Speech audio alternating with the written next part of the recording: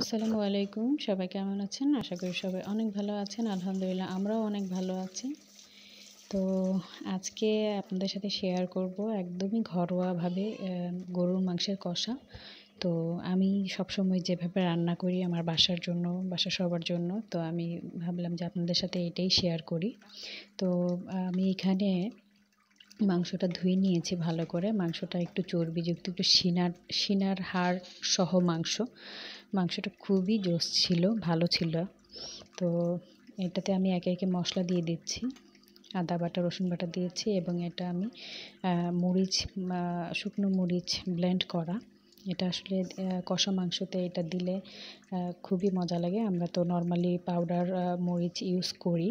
তারপরও আমি বাটা মরিচটা বা ব্লেন্ড করা মরিচটা একটু দিই, যাতে স্বাদটা একটু ভালো লাগে।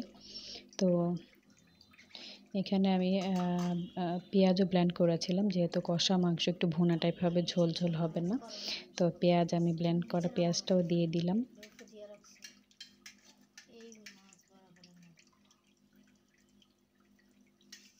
কষা মাংসটা মূলত ঝোল হয় না।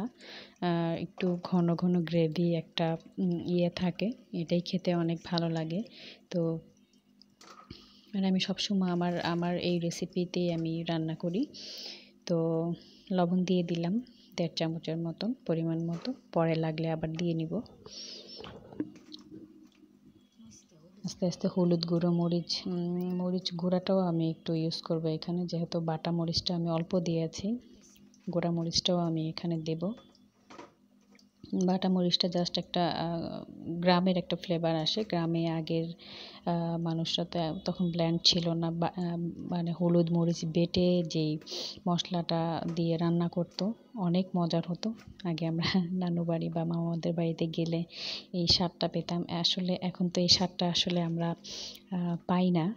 তো আমি এই শহরে জীবনে তারপর একটু ট্রাই করি যেন ওই মজাটা পাওয়া যায় কি না তো হলুদ গুঁড়ো, মরিচ গুঁড়ো, ধনে গুঁড়ো এবং জিরা গুঁড়ো দিয়ে দিয়েছি। তো এখন অল্প একটু গরম মশলা গুঁড়ো দিয়ে দিব। গরম মশলা গুঁড়াটা দিলে আলাদা একটা ফ্লেভার থাকে। তো এগুলো, এগুলোর সাথে এখন পেঁয়াজ কুচি দিয়ে দিব। আমি একবার কিন্তু পেঁয়াজ ব্ল্যান্ড করা পেঁয়াজ দিয়েছি। এখন কুচি করা পেঁয়াজগুলো দিয়ে দিব। তাহলে গ্রেভিটা আর একটু বেশি হবে। কারণ এটাতে ঝোল হবে না। তো এখানে আমি সরিষার তেল দিয়ে দিচ্ছি। আর সবসময় মনে রাখবেন যে ভুনা মাংস বা কষা মাংসর মধ্যে সরিষার তেলটা খুবই খুবই মানে যায়। আর এটার আলাদা একটা ফ্লেভার এবং স্বাদটাও একটু অন্যরকম করে ফেলে। তো আমি এখানে একটু সয়াবিন তেলও দিয়ে দিচ্ছি। আর মোটামুটি মাংসটাতে চর্বি ভালোই আছে। যেহেতু সিনার মাংস, চর্বি এবং সিনার যে হাড় থেকেও অয়েল বের হয়। তো আমি এখন এগুলো ভালো করে মেখে নিচ্ছি।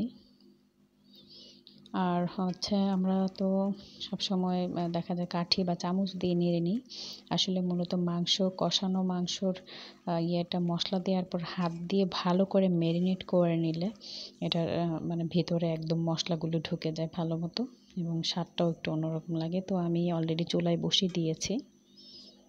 দেখতে পাচ্ছেন এখানে এটাতে আমি একদমই পানি মানে দিইনি বলতে গেলে। আমি যে মশলাটা মাখিয়েছি, আমার হাতটা হাতটা ধুয়ে যতটুকু পরিমাণ পানি দেওয়ার আমি অতটুকুই দিয়েছি। এর বেশি আমি দিব না।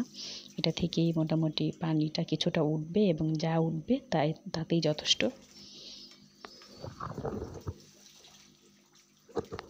তো আমি এখানে এলাচ দারচিনি এবং তেজপাতাও দিয়ে দিয়েছি। এখন একটু চামচ দিয়ে নেড়ে ঢেকে দেব।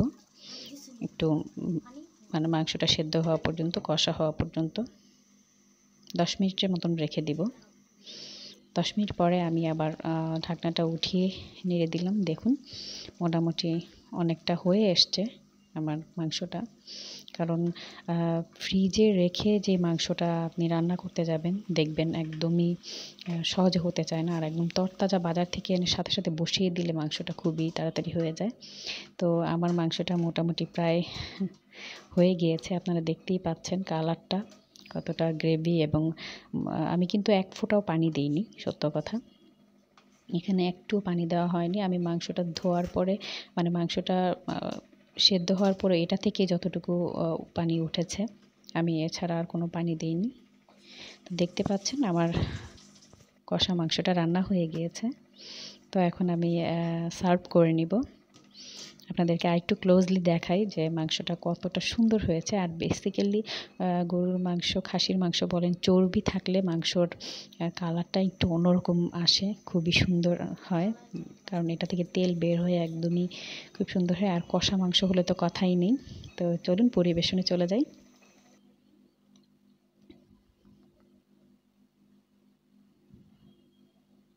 এই যে দেখতে পাচ্ছেন হাড় সহ একদম